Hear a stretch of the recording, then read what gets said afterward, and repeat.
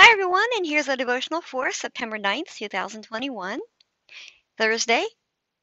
And, you know, I always think of Grandma Williams because her birthday would have been today. So I always remember that and praise God. Okay.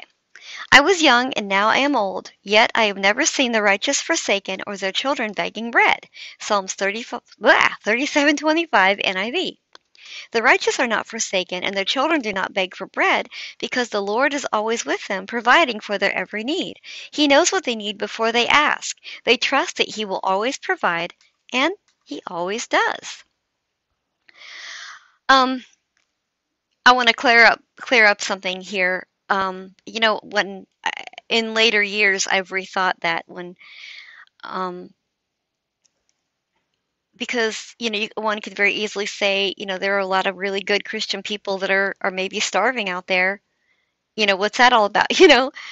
I don't know. You know what? Um i don't know. Sometimes god doesn't meet our needs in ways that we think he should.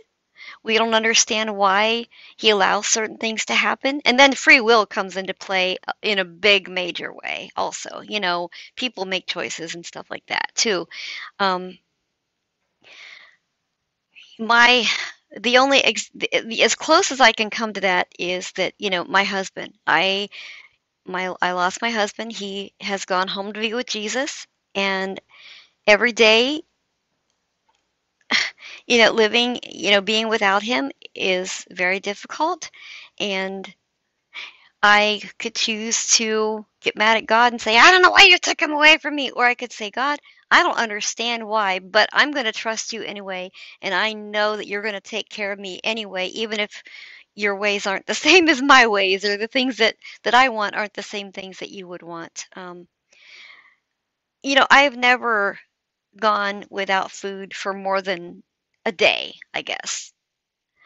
Um, you know, I've always had something to eat. It might not have at times been when I wanted it or what I wanted, but but I've never really gone without. So I don't understand that. And for those of you who have, I'm sorry that I don't understand that and I'm praying for you that God will, you know, provide for people's needs and stuff like that know, let's make that our prayer today. You know, if there's anything we can do, or if there's someone we know of that, that is starving or going without, let's pray for them, or let's let's pray and ask even ask God what we can do to help too.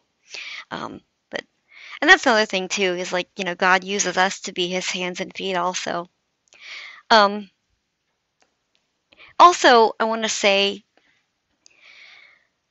Shadrach, Meshach, and Abednego. Now, this is my paraphrase basically when they were going to get thrown into the fiery furnace, you know, if they didn't bow down to the, the statue of the king or whatever, you know, they said, We know God is able to deliver us, but even if he doesn't, we're not going to bow down to the king or to the statue or whatever it was.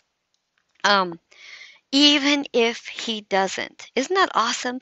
Even if God doesn't deliver us or, you know, provide in the way that we think we want, or if he doesn't protect us or if he doesn't whatever, we're still going to trust him because we know that he is in his own way he's providing for us in ways that he knows what we need.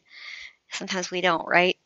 So I hope that makes sense. I don't think I articulated that very well, but um, I hope it makes sense. But anyways, may the Lord bless you all and be with you till tomorrow.